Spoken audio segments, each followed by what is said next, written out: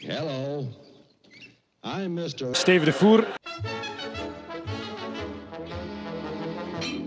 A horse is a horse, of course, of course, and no one can talk to a horse, of course. That is, of course, unless the horse is the famous Mr. Steve Defour.